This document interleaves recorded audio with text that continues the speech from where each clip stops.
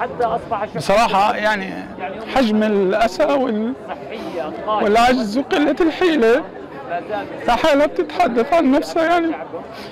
يعني للأسف إنه الإنسان بيكون نفسه يقدم بس للأسف يعني الأمور مغلقة والحواجز مغلقة. يعني إحنا نتمنى إنه نقدر نساعد إخواننا وشعبنا في غزة اولا وأهلنا وشعبنا بداية لأنه إحنا من هذا الشعب.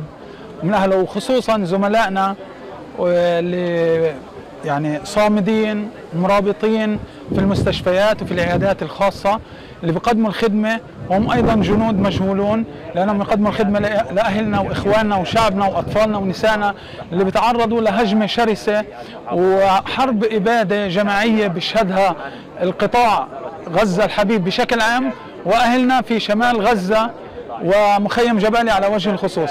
إحنا آه، يعني توجه الجميع إلى الهيئات الحكومية والهيئات الخاصة والهيئات العالمية اللي معنيه في تقديم الخدمة الصحية أو تقديم الغذاء أو الدواء أو حتى الماء لإخواننا هناك.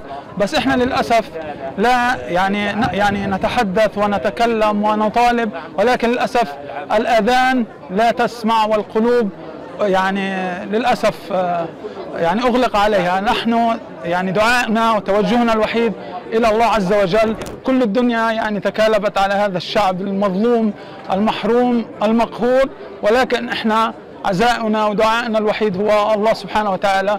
ولا نطلب من شيء إلا من الله عز وجل. أليس الله بكاف عبده؟ الله لن يضيع هذا الشعب. وإن شاء الله يعني إنه طبعا راح أقدم كل جهدي وكل إمكانياتي و... وكل ما أستطيع.